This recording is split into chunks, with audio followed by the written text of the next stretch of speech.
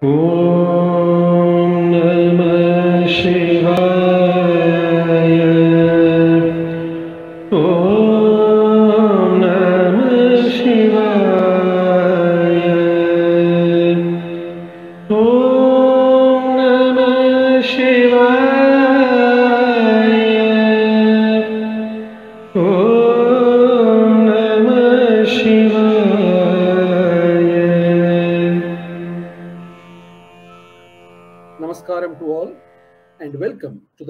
episode of Shiva Bodhamalika. Today, we shall be looking at the form of Shiva as Dakshinamurti, which is a very popular representation of Shiva. Let us start with the term Dakshinamurti itself. The term Dakshina could mean right, as in left and right, or could even mean the south, the north and the south. Dakshina Murti is Dakshina Abhimukha Murti, the one that is facing the south. The Murti that is facing the south, the form that is facing the south. Now, what does that mean? What does the south direction indicate? The south is the direction of Yama. The south is the direction of death. So, Dakshina Abhimukha Murti indicates the Murti who is facing death, who is coming face to face with death, who is confronting death, and hence transcending it. So, Dakshinamurti is the form of Shiva that is confronting death and helping us transcend death. So, Dakshinamurti is the form of a Guru who is helping us confront death and transcend it. That is why, even in the temples, in the Shiva temples, especially if you go around the Shiva temples, you will find different representations of Shiva uh, consecrated in different directions. And Dakshinamurti will be the form of Shiva that is always placed facing the south. That is Dakshina Abhimukha Murti. It can also be Dakshina Amurti, that is, it is facing the south, but Amurti, there is no form. It is a formless state of Shiva. That means it is the Brahman itself. It is Shiva as Brahman itself, which is helping us face death and confront it, and making us immortal or moving us towards immortality, towards Amritatva. So, this is the concept or significance of Dakshinamurti. Dakshinamurti is regarded as it's the form of Shiva as the Parama Guru, is Loka Guru. Shambho Loka Guru Madiya Mahatam Saukhyopadesham Guru, says Acharya Shankara in the Shivananda Lahari. So he's a Loka Guru. The form of Dakshinamurti can also be considered as the form of Sadashiva because Sadashiva is also that form of Parameshwara, which is the form of a guru. Sadashiva Anugrahada comes in the Lalita Sahasranama. That is, the Divine Mother as Sadashiva, as the consort of Sadashiva, is Anugrahada, is the giver of Anugraha, is the one who graces, who blesses. That is the form of Guru. So Dakshinamurti can also be considered as a form of Sadashiva. That is why in the Guru Parampara, we always say Sadashiva Samarambham Shankaracharya Madhyamam Asmadacharya Padyantam in the Guru Parampara. So it is always Sadashiva, who is the beginning of the Vedanta Guru Parampara. So these are the various aspects of Dakshinamurti. Now coming to the story behind Dakshinamurti, we find in the Puranas the story that once the Brahma Kumaras, Sanaka, Sanandana, Sanatana, San, Sanat Kumara, they wanted, they were born itself as Brahmajnanis. They were born itself as Vairagins, dispassionate people, even as they were born out of the mind of Brahma. So they were not ready to do any, any sort of creation which Brahma wanted them to. And they were always, already on the path of Nivritti. They were on the Nivritti Marga. So they could not be brought to the Pravritti Marga. But on the Nivritti Marga, on the path towards realization, they wanted a guru. They were in search of a guru. And Brahma, they did not find to be the right guru because Brahma was engaged in creation in all materialistic aspects. So they did not find Brahma to be their right guru. They went to Vishnu. Vishnu was lying on the uh, Adishesha and Lakshmi was pressing his feet. They also did not find this imagery to be fit for the kind of guru they were expecting, who could give them the Brahmajnana.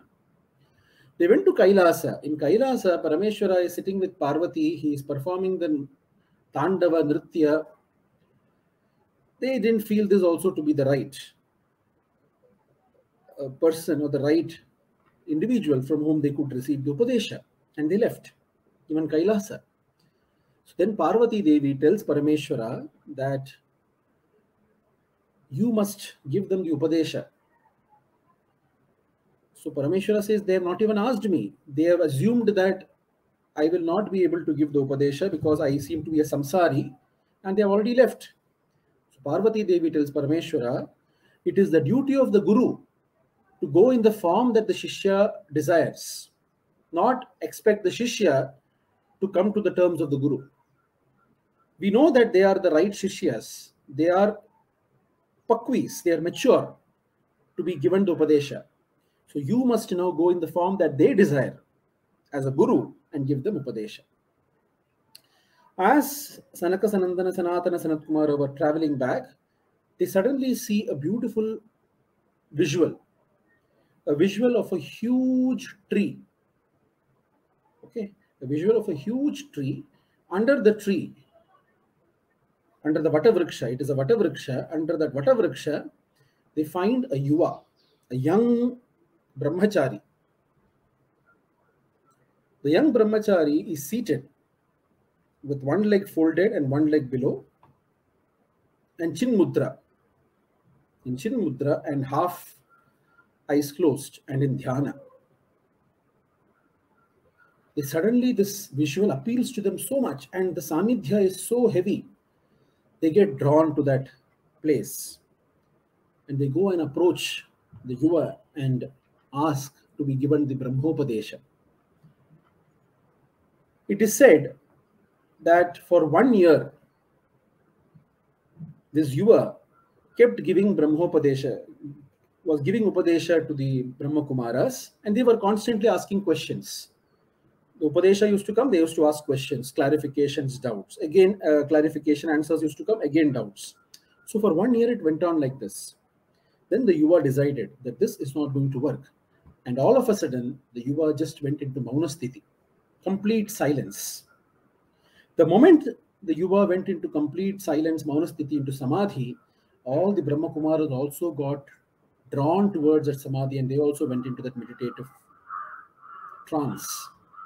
And in that state, all their questions and clarifications were answered and they were getting to the, they went on to the realized state. They knew, they got the Brahmopadesha then.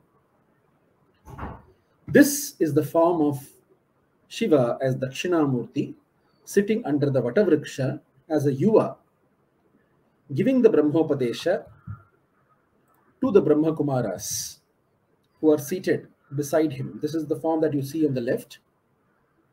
Vatavriksha, the Yuva sitting with the Chin Mudra and the four Brahma Kumaras sitting beside him. Chitram Vatataror Mule. Chitram. This visual is what? Vatataror Mule Vriddha Shishyaha Guru Yuvaha. The Shishyas are Vriddhas, Brahma Kumaras, but the Guru is Yuva. Gurostu Mauna Vyakhyanam Shishyastu Chinna Samshayaha. The Guru went into Mauna and he started explaining and giving the Upadesha through Mauna. Shishyastu Chinna Samshayaha. All their doubts vanished away. Mauna Vyakhya Prakatita Parabrahma Tattvam Yuvanam.